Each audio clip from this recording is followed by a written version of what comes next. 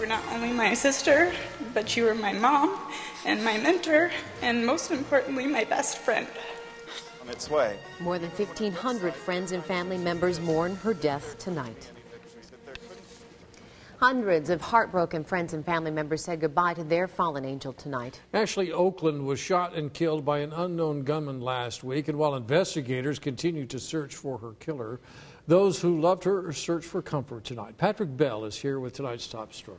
Yeah, Kevin and Stacy, um, the 27 year old real estate agent with a smile as bright as her future was laid to rest this afternoon, but not before an emotional farewell, a fitting tribute filled with tears and laughter, but also with a call, a prayer for justice.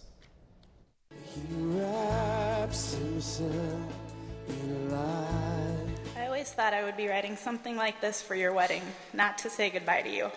And when the angels come.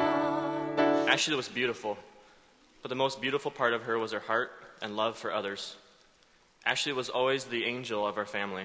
And though she lives now only in spirit, I'm already dreaming about the day we will meet again. her memory will forever endure. I don't understand why God decided He needed you more than us. But I hope you're taking care of the people up there like you took care of us. Ashley Okland's life was as full of potential as it was promise. She was already a successful real estate agent with a burgeoning clientele, but she was much more passionate about those she loved. You were not only my sister, but you were my mom and my mentor, and most importantly, my best friend. And judging by the crowd at a celebration of life ceremony, she was a friend to many. To know Ashley was to love Ashley. But with grief comes unanswered questions.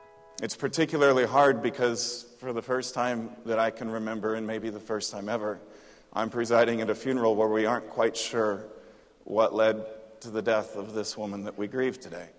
The individual who took Ashley's life has robbed us of our daughter, our sister, our niece, our granddaughter, our cousin, our best friend. But memories of Ashley can never be stolen. I am heartbroken that I will never be able to spend our day, our days together laughing. But I thank God that I had you in my life for the memories we have. And a reward for information surrounding this mystery has now risen up to $23,700. Coming up tonight at 6, we're going to update this search for a killer. Plus, you'll hear much more, of course, from the Okland family. Okay, Patrick, thank you.